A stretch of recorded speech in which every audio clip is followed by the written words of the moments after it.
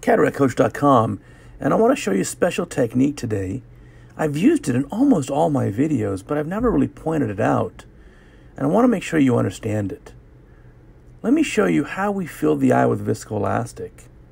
And you notice when we fill the eye with viscoelastic, we push it with more force into that angle that's opposite, and there's less force in placing it here at the paracentesis. So my special maneuver is, at the end of the case, to sweep that angle opposite of the paracentesis, where we really have pushed the viscoelastic into the angle. We sweep that with balanced salt solution to make sure that there's no leftover or retained viscoelastic, because that's what's going to cause the pressure spike in the immediate post-op period. I'll show you that technique at the end of the case. This is otherwise a routine case. You see I marked with my forceps, I've made a mental note of where the size and position of the capsulorhexis should be. And we're going to tear here about a 5 to 5.5 millimeter capsulorhexis. Nice pivoting position, and that's uh, round and well centered. We'll now use balanced salt solution on a blunt cannula here to do the hydrodissection. And I do like a dispersive viscoelastic at the beginning of the case because that really protects the cornea.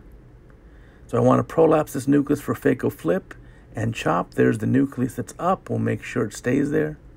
And we'll put the phaco probe in after a little bit more dispersive viscoelastic. I want to protect the cornea. That's my most important goal. And that's why the dispersive comes in handy. It is a little tougher, you're right. To do a capsulorhexis, it's easier with a cohesive because the dispersive tends to flow out of the eye. But I have faith in your skills, and you're a good surgeon. You can learn to do a visco, uh, under viscoelastic dispersive style, you can learn to do a capsulorhexis. So we've chopped the nucleus in half and we're just going to emulsify each piece. So for me, I use a dispersive viscoelastic at beginning of the case. Yes, the rhexis is more difficult, but yes, it's better for the cornea, and I can pivot in the incision and prevent most of the prolapse or loss of viscoelastic. And then I like a cohesive viscoelastic at the end of the case because the cohesive allows me to uh, expand the bag maximally for lens acceptance for the IOL delivery, and then the cohesive is easier to remove at the end. So cataracts out, we're just going to clean up the cortex here using the IA probe. And most of the dispersive viscoelastic still remains inside the eye. For this setting here, the cortex removal, yes, we have very high vacuum, but flow's not terribly high. It's probably about 30 to 40 cc's per minute of flow and vacuum can be high, at least 500, maybe 600 millimeters of mercury. So cleaning up our capsular bag here, the viscoelastic still remains. Now this is a nice eye because it's very blue and very bright red reflex, and that allows to see very well the shadow of the viscoelastic. So here's the cohesive. As we inject that, we fill up the capsular bag. Little bit of lens material that you see there is actually up against the corneal endothelium. It's not in the capsular bag and we'll remove that at the end. Fixating the eye, and we'll deliver our single piece acrylic lens right into the capsular bag. There's the delivery. That looks great, and we'll open this up. Capsulorhexis should be just about the perfect size to overlap that optic for 360 degrees. We'll rotate the lens to get it into the preferred position, and that looks great. So you can see now, if you look at the red reflex, there is some viscoelastic that you can see against the corneal endothelium and also some lens material. That'll all be removed now. So going in first behind the lens to remove the viscoelastic and any little particles that are left. That looks great.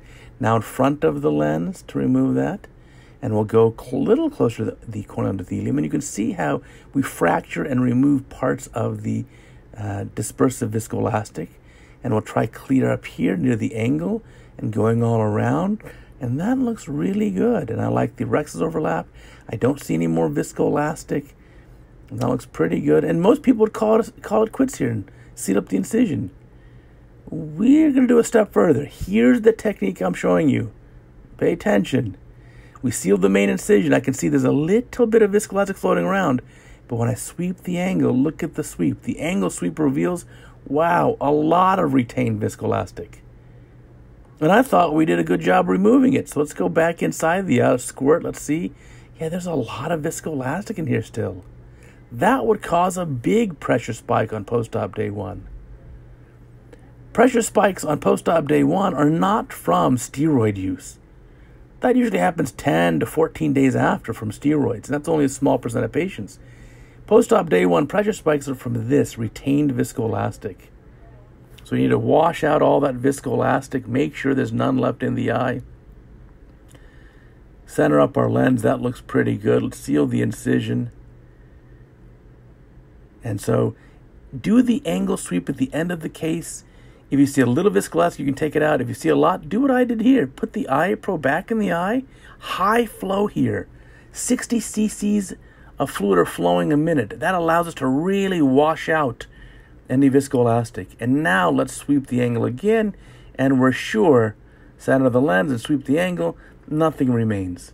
So try the angle sweep for all your routine cataract cases. Thank you.